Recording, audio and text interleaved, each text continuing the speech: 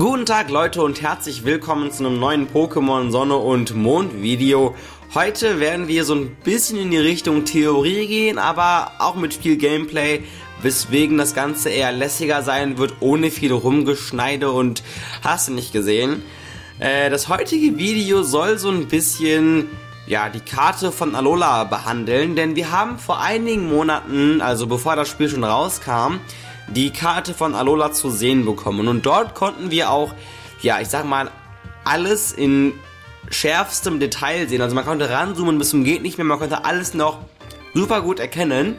Und auch konnte man das Hano Hano Resort, in welchem wir uns gerade hier befinden, erkennen.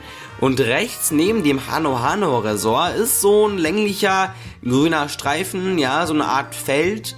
Und wenn man sich damit genauer beschäftigt, weiß man, dass es eigentlich ein Golf ja, so ein Golffeld, so eine Golfstrecke sein soll. Und das Problem ist nur, also man kann das hier auch im Spiel sehen, wie man hier sehen kann auf der Karte rechts. Also ja, unter dem rechten Auge von Rohstoff kann man das sehen. Ähm, ja, da ist nämlich diese Strecke ist dort auch abgebildet. Das Problem ist nur, man kommt da nicht hin. Also das ist halt so ein Gebiet, das man zwar sehen kann, was auch relativ groß ist, wie ich finde, aber nicht betreten kann. Warum auch immer. Und darum soll es heute so ein bisschen gehen, was da sein könnte, warum wir da nicht hinkommen. Ja, der Hintergrund dazu so ein bisschen auch noch, so Kontext und sowas. Und ja, Leute. Aber dafür gehen wir erstmal zum Hano Hano Hotel und ich würde sagen, wir gucken uns mal hier so ein bisschen um erstmal. Hier haben wir auf jeden Fall, ähm, ja, diesen Strand, sage ich mal. Und hier haben wir auch, also man sieht auch gar nicht, äh, was da hinten ist. Also man kann da nur halt hier diese Streifen da sehen, links bisschen. Aber mehr kann man auch nicht sehen, ne? Komisch irgendwie. Gut, okay, Leute. Ähm, dann gehen wir mal ins Hotel rein, denn im Hotel ist ein Charakter, der uns eventuell, na, weil man kann das hier so ein bisschen sehen, glaube ich. Ja, bisschen aber nur. Denn dort ist ein Charakter, der uns eventuell so ein bisschen helfen kann dazu. Und da gehen wir mal hin am besten. Und zwar, diesen Charakter kennen wir sogar auch noch, und zwar dieser hier. Diese nette Lady, die kennen wir schon von der Top 4, falls ihr schon dort wart. Und ich würde sagen, wir reden mal auch mit ihr. Shizune, was machst du denn in meinem Haus? Haus, also okay. Das ist die Kahili und wir sind anscheinend in ihrem Haus, wie sie sagt. Haus, also ja, schönes großes Haus hier. In deinem Haus? Fragezeichen. Das Hano Hano Resort gehört meinem Papa, weißt du, wie dem auch sei. Also ein bisschen abgehoben ist sie, glaube ich, schon. Also nicht abgehoben, aber ich glaube, sie hat schon ein bisschen nur das Angebergehen in sich. Du bist doch der Champ, nicht wahr? Du wirst doch sicher jeden Tag trainieren. Äh, natürlich. Von einem Champ habe ich auch nichts anderes erwartet. Das ist eine vorbildliche Einstellung. Ich selbst bin ja in der Golfweltrangliste recht weit oben mit dabei. Tägliches Training gehört für mich also einfach dazu. Ich kann nur empfehlen, jeden Tag zu trainieren, auch wenn es nur ein bisschen ist. Hier, das ist für dich. Vielleicht hilft es das, vielleicht hilft dir das ja, in noch höhere Sphären vorzustoßen. Und damit kriegen wir auch Bizarro-Raum, Leute. Äh, war auch nicht davon war nicht beabsichtigt eigentlich. Also, okay, Dankeschön dafür. Unter Flug-Pokémon gibt es doch viele Vertreter mit hoher Initiative, nicht wahr? Darum nutze ich beim Trainieren, nee, beim Training gerne Bizarro-Raum, um mir so ein Handicap aufzuerlegen. Das sorgt nämlich dafür, dass langsame Pokémon zuerst angreifen. Okay, gut. Äh, 10 Stunden Training, na gut, dann nur viel Spaß, Gaheli, ne? So, okay Leute, gut. Das war die Kahili und wir konnten erfahren, dass das hier ihr Resort ist. Oder halt besser gesagt, das Resort ihres Vaters. Sie ist dann quasi der, ja, die, äh, die Hotelerbin, sage ich mal so. Und gut, was haben wir erfahren, Leute? Wir haben erfahren, dass sie Golf spielt. Sie ist, äh, die ist relativ, ja, ich sag mal, berühmt darin oder halt auch äh, bekannt und erfolgreich. Und ja, Leute, Golfspielerin, es ist ihr Resort und Golfstrecke. Was kann man damit quasi ungefähr so, ich sag mal, äh, Schlussfolge an? Ja klar, dass das Ding quasi ihr gehört. Also sie nutzt das vielleicht als Privatanlage, darin zu spielen. Die Frage ist nur, warum kann man da nicht hingehen? Kann man hier rechts oder so da vielleicht eine Tür dazu finden? Ich glaube nicht, nee. Sollte man nicht können. Äh, sagen die mir noch was dazu? Okay. Alles klar, das ist glaube ich auch ja. Nee, hier ist glaube ich nicht mehr dazu. Gut, Leute. Ja, das Problem ist jetzt, wir kommen da nicht hin. aber wir könnten trotzdem ein bisschen spekulieren. Wie wir wissen, ist Kaheli die Top 4 Mitgliedin, Mitgliedin, Mitgliedin, ja, ich glaube, das ist richtig. Und sie ist eben halt die Erbin vom Hano Hano Resort und eine Golfspielerin. Und das sind auch die einzigen Infos, die wir haben, aber wir können damit schon viel anfangen.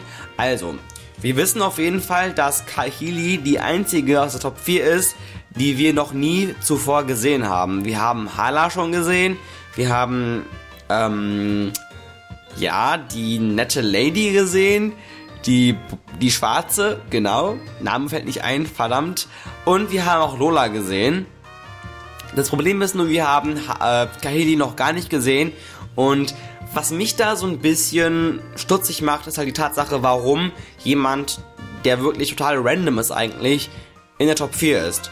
Wir können damit zwar quasi so, ja, ich sag mal, jetzt spekulieren, aber es könnte ja gut sein, dass zuvor diese Golfanlage Teil der Story war, dennoch aus irgendwelchen Gründen aus dem Spiel rausgeschnitten wurde. Weil ich meine, so ein Riesenort, das dauert ja schon bestimmt ein Stück, das alles einzurichten in der Karte und sowas und ähm, halt auch in der Overworld Map und sowas. Also es war schon ein bisschen, also ich kann mir vorstellen, dass es auf jeden Fall schon geplant war, aber dennoch aus irgendwelchen Gründen auch immer rausgeschnitten wurde.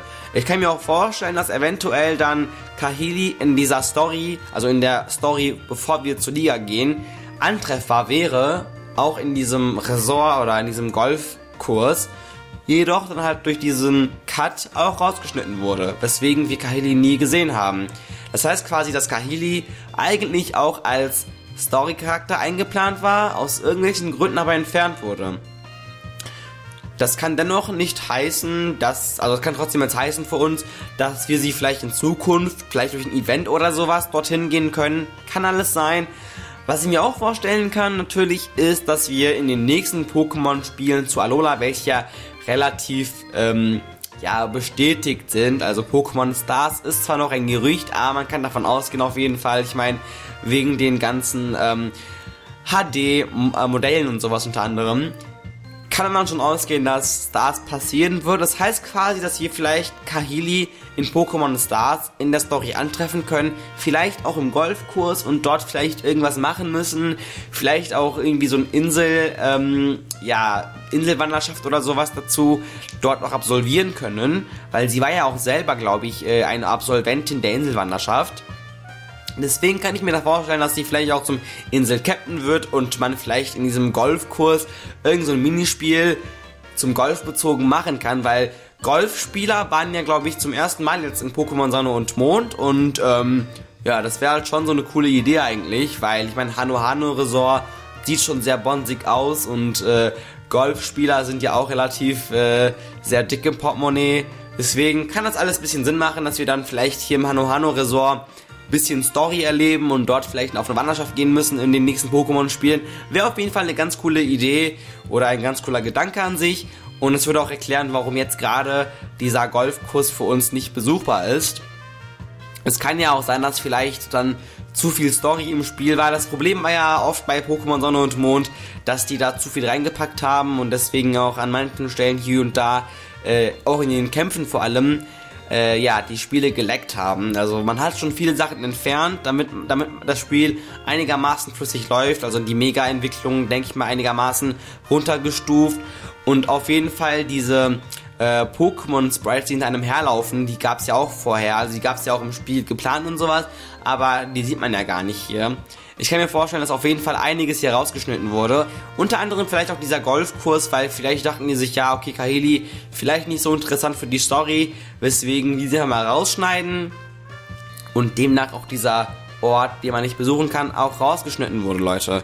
Das sind so meine Gedanken dazu, so meine, äh, ja, Spekulat Spe Spekulation, was? Spekulatius, ja, meine Spekulierungen, sage ich mal so, dazu. Und ihr könnt ja auch in die Kommentare schreiben, was ihr dazu denkt, was eure Ideen sind oder ja, ähnliches, was auch immer. Aber wie dem auch sei, Leute, das war's fürs heutige Video. Ich bedanke mich vielmals fürs Zuschauen. Falls es euch gefallen hat, könnt ihr das Video gerne positiv bewerten. Darüber würde ich mich freuen.